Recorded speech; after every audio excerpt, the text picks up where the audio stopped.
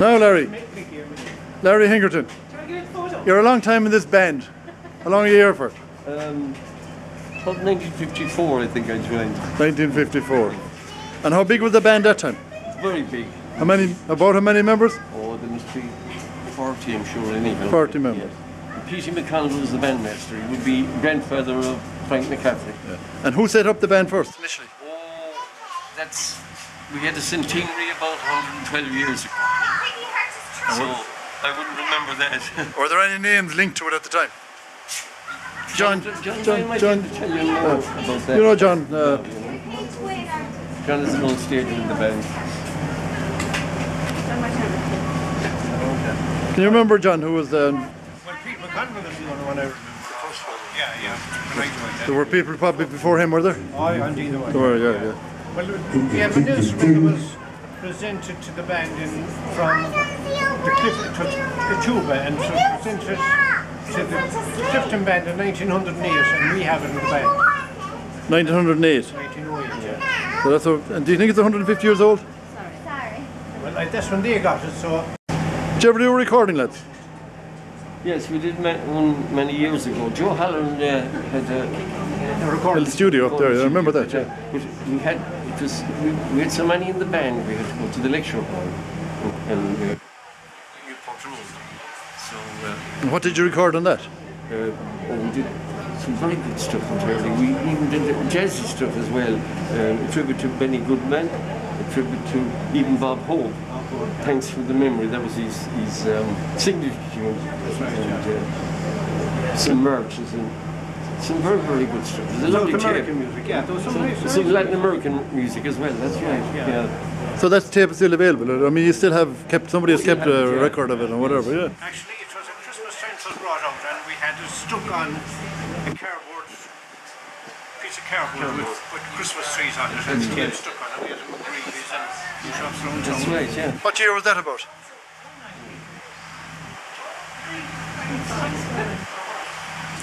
Was Mike Roberts involved in that? Mike was, Yeah, involved. he was yeah, a yeah, conductor. yeah. as he was a well. conductor, man.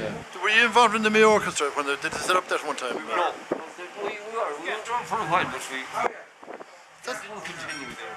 Or we couldn't keep everything. Well, we, we were playing, we played with ourselves, with Westport. Thank you very much. Casper went to London one time and they wanted trombones and basses and trumpets, so we put them to The Sligo band was starting up, so we went up to start the Sligo band. That's right. And we had our own um, Opus 2. wasn't? So yeah, it was a, a 16-piece band, a splinter group of the of the, the town band In Westport. in Westport. A 16-piece, five saxes, um, Four trumpets. four trumpets, Four, four, uh, uh, two trombones, and two basses. Yeah. And when, and when was that about? Uh, that'd be around that time as well. The time of the What year? Like, would it be 60s, 70s? Oh, gee, it was the 70s, the 80s. The 80s, in the Yeah, we did, we played a few. Oh, we did a good few gigs that time. We did the, the Arts Festival out in Woods Hotel on uh, Sunday morning. We did a couple of hours there. Played in the Swan and Sligo. Swan, we did indeed. in, in Ballinair. The Arts, the Arts uh, thing in Sligo as well. So good. Good. Who are the big characters over the years, apart from one or two around me here at the minute? Yeah. was that, The big characters. was Jackie Foley in it, was he? Oh, Jackie. Jackie was in it, the late Jackie Foley. Mark Malone. Michael McNally. Died recently.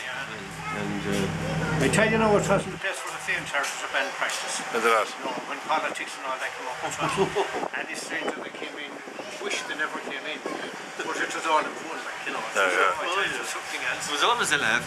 always a laugh. Tom Lanny used to come over.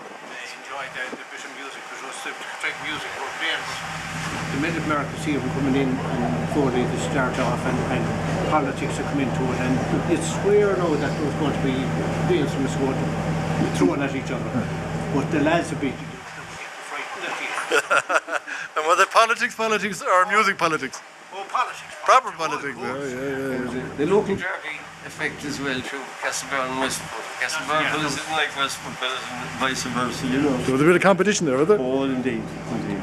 Were you better? You were? We thought we were Well, Michael McNally and I reckoned that we were the two best tuba players in the Westport band for the last 20 years. And his reason for that we were doing the only two. You do Christmas every year. every year. Every year. every- Top of the church. Because uh, in the church, we did the church uh, before uh, the vigil mass at 9 o'clock on Christmas Eve. And uh, we did the procession, procession proper sister procession as well. There are three things we, we try to do, yeah. And the, uh, of course, uh, St. Patrick's Day parade.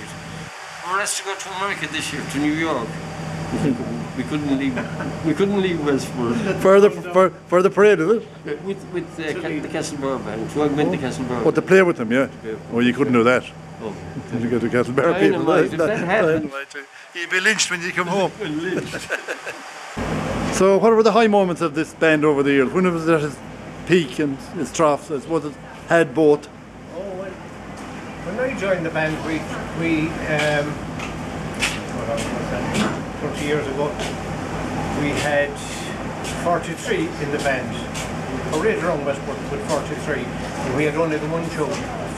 One tune. The one tune, yeah. But as Larry said, we were changing our audience. Everywhere we went, to was a different audience, so they didn't know we played two minutes down the street. So that's the one tune we had round the town, and there's 43 of us trying to play. But that's 35 years ago. And have you expanded your repertoire since? Oh, big time. Yeah, yeah. We, we, uh, I started them off on, on uh, sing-along song like uh, Susie and all that to get away from the marches. They were only doing marches before that. The, the carols at Christmas and the, the Corpus Christi procession, the, the hymns at that. So we got them onto this and we did, we started buying orchestrations then called the band. Uh, each member had its own part, just is each instrument, which was a great thing. And uh, from there on, we, we kept going pretty well. And a guy called Mike Roberts, Mike came to town, he was a chap from London. And uh, I got to know Mike pretty well. He was a very good trumpet player, a brilliant musician as well. And uh, I said to Mike, any chance of you coming in to take over the band? Which he did. And we, we did very, very high class stuff entirely.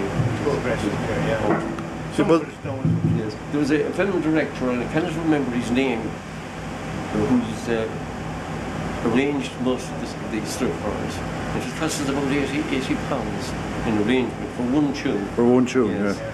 But uh, We have about 20,000 or 20 or 30,000 pounds worth of music in Music, there. yeah. And going like at the moment.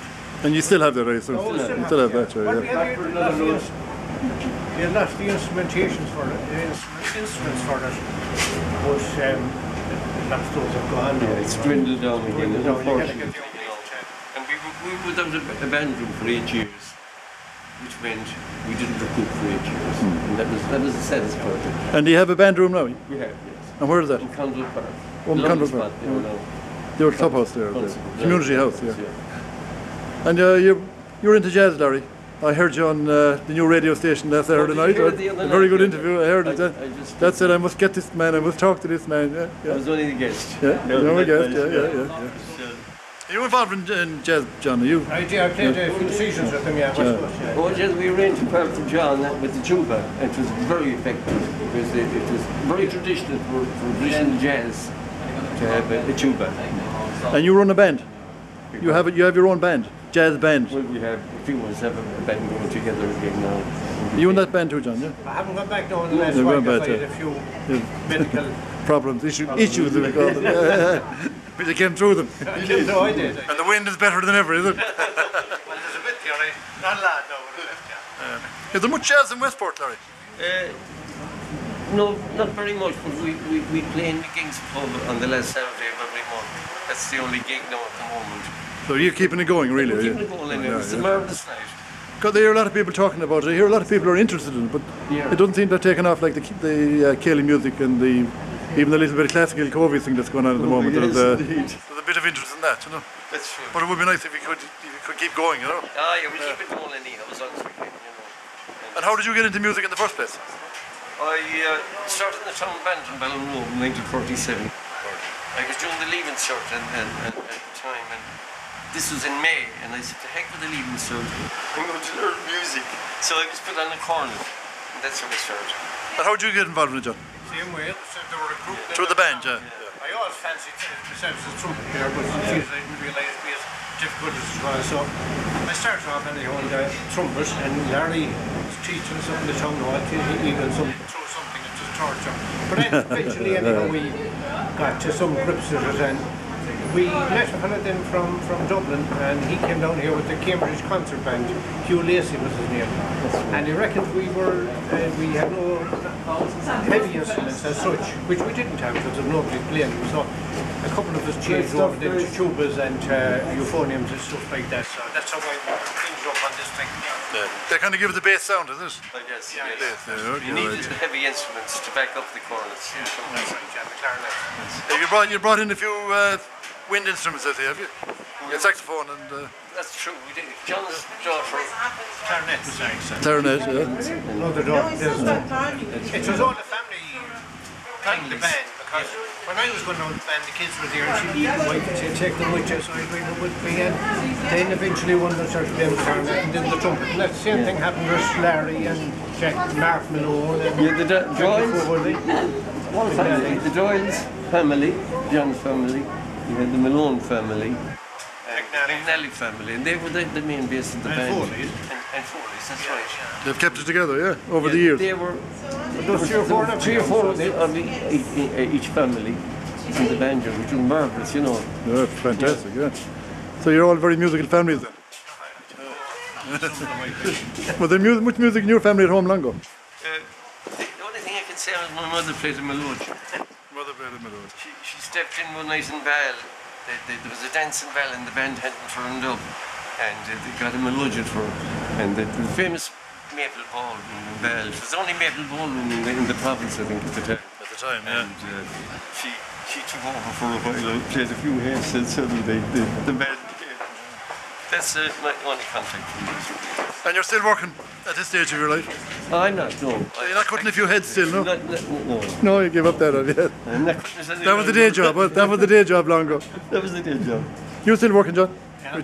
doing a few days a week, yeah. Yeah, it's He's great. only a young lad. He's only a young lad, yeah. He has about, you're only a young lad either, Larry, by the look of you, and, the, and your behaviour. Oh boy. Out at lower hours of the morning and radio. it's- Okay, lads, thanks very much indeed. Thanks, Thanks, very much.